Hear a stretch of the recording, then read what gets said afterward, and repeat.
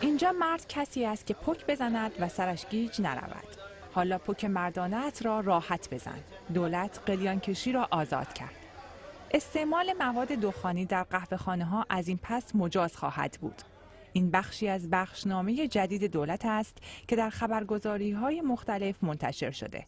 حالا با تصمیم دولت و پیشنهاد وزارت بهداشت قلیان آزاد شد و به قهوه خانه ها بازگشت. قلیان و دودی که از یک کشمکش قدیمی بلند می شود. از پاییز 85 با پیگیری های وزارت بهداشت و نیروی انتظامی قرار شد تمام قلیان ها از قهوه خانه ها جمع شوند. پس از آن هر سال قلیان ها با یک قانون آزاد و با یک بخشنامه جمع آوری می شوند. و این اختلافی است میان سنف سفرهخانه های سنتی و قهوه خانه ها با وزارت بهداشت و نیروی انتظامی. تا ده روز پیش که دیوان عدالت اداری رأی به جمع آوری قلیان ها داد.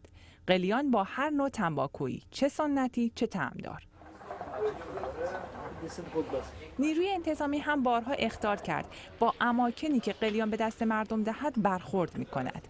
اما هفته گذشته حسین مهرجردی دبیر اتحادیه سفرهخانه‌داران سنتی تهران خبر از راه اندازی اتاق دود در سفرهخانه ها داد و امروز دولت با پیشنهاد وزارت بهداشت و رد اقدام دیوان عدالت اداری به فکر آزادسازی قلیان کشی افتاد و قهوه خانه ها را از قانون جامع کنترل و مبارزه با دخانیات خارج کرد. انگار هیچ قانون و بخشنامه نمی تواند جلوی این دودها را بگیرد. بنا به تازه ترین آمار سن مشتریانشان به 15 سال کاهش یافته و قلیان هایی که گاهی ممنوع می شوند و گاه نامشان به عنوان مهمترین عامل جذب توریست ثبت می شود. حالا باید دید این دودها به چشم چه کسانی می رود.